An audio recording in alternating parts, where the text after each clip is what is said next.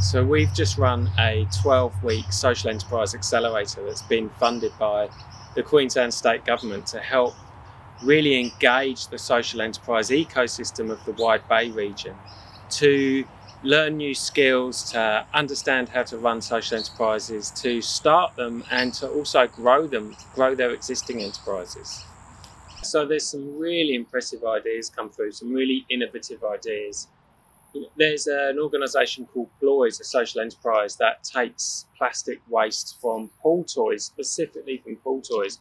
They've already repurposed one tonne of plastic waste that has saved it from going into the ocean.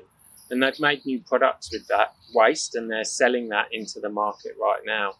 Another fantastic organisation has been the Cafe 129 Cafe that's been set up to specifically employ people from disadvantaged backgrounds in hospitality.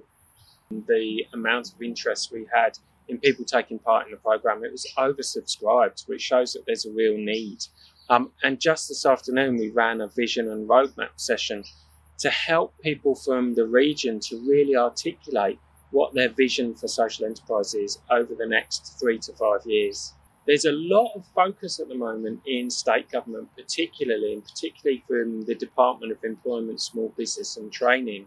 And Minister Di Farmer has been announcing successive tranches of funding that's been released to the sector to support the growth of social enterprise. But also, we're seeing large organisations, really big corporations, interested in using their procurement spends to support the development of social enterprise. So we're seeing this really large amount of money come into the sector, not just from grants and philanthropy, but also from procurement.